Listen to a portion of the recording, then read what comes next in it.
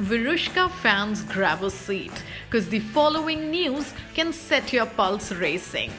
If reports are to be believed, Virat and Anushka could make their first joint appearance on Coffee with Karan.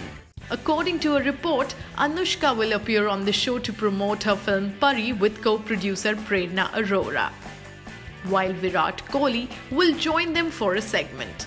A source close to the film was quoted saying Virat Kohli and Anushka Sharma are not keen on doing any talk shows together. But Karan may tempt them if he mixes business with pleasure.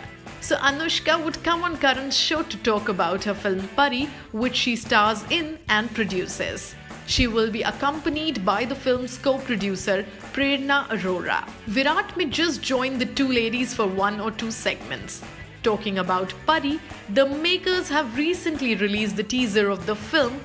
While it doesn't reveal much about the story, but it does have the mystery, sound effects, and above all, the performances to keep you hooked.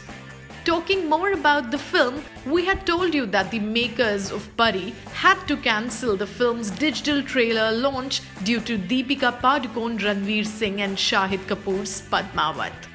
A source had told Spotboy. Anushka and Prerna Arora had decided to launch the trailer today, as no films were on the horizon, as a result of which movie buffs would be focused on Pari.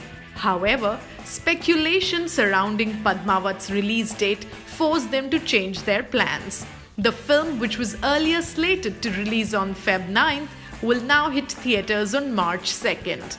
Coming back to Virat and Anushka's first joint appearance on TV, we can't wait to watch the Kohlis share screen space once again.